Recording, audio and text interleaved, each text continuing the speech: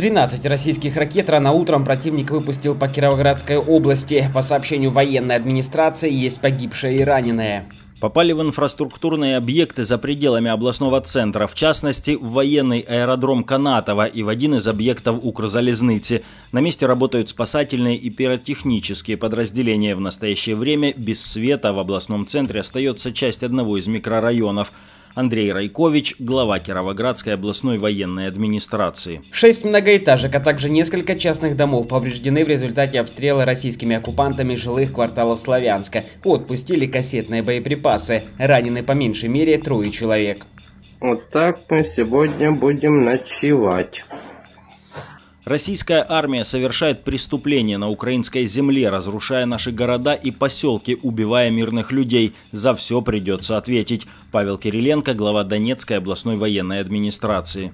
Обстрелом подвергся и Бахмут. Российский снаряд попал в индустриальный колледж, возник пожар, значительно повреждена кровля. Пострадавших нет. Тем временем российские захватчики объявили о закрытии на выходные Мариуполя на въезд и на выезд, якобы с целью выявления украинских партизан. Будут проводиться усиленные фильтрационные и антипартизанские мероприятия. Будьте начеку, не подвергайте себя опасности, почистите телефоны без лишней необходимости, не отходите от домов, обходите блокпосты, помогайте друг другу. Петр Андрющенко, советник городского головы Мариуполя.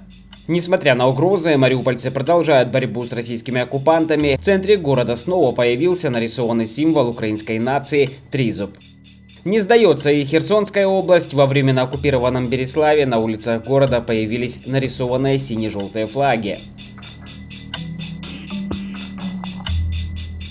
За сутки украинские военные уничтожили в регионе 5 опорных пунктов и 2 склада с боеприпасами противника. Появилась информация от советника руководителя Офиса президента Алексея Арестовича о том, что более тысячи российских военных удалось окружить и взять в котел. В Херсонской области уже две недели очень сложная обстановка у российских войск – мы обошли их справа, слева мы взяли Ольгина, частично и почти полностью Потемкина. Это два населенных пункта справа и слева от Высокополья. Там, по сути, повторение Иловайска для российских войск, потому что более тысячи бойцов с вооружением и военной техникой находятся в тактическом окружении. Алексей Арестович, советник руководителя Офиса президента Украины.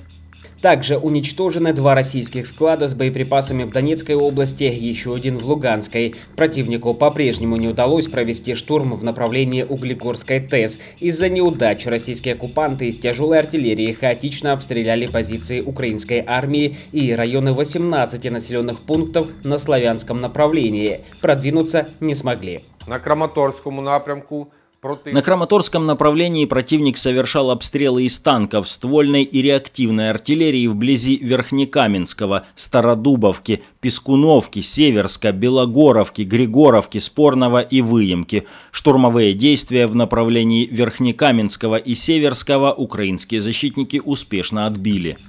Ожесточенные бои идут в районе подконтрольных Украине, Белогоровки и Верхней Каменки Луганской области. Противник привлек для захвата региона вагнеровцев. Бачимо, що видим, что у них проблемы с логистикой, подвозом боекомплекта. Плюс видим, что с личным составом тоже есть определенные нюансы. Сейчас в атаку бросают подразделения, состоящие из бойцов частных военных компаний. Это говорит о том, что они оттащили определенные свои батальоны для перегруппировки из-за большого числа погибших. Для того, чтобы начать контрнаступление, нам нужно оружие.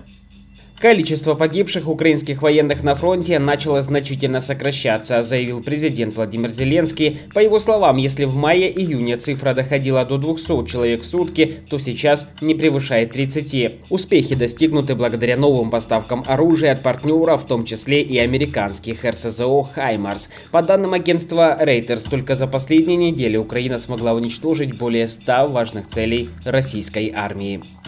Александр Белов специально для информационного марафона Freedom телеканала UA.